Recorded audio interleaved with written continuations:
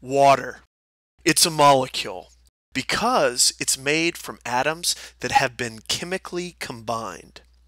Now, water is also considered a compound. And the reasoning is because the atoms that make up the water molecule as a whole, they're not all the same.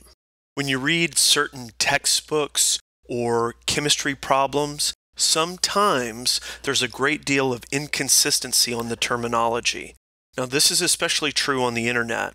Quite often, the terms molecule and compound are used synonymously, but they shouldn't be.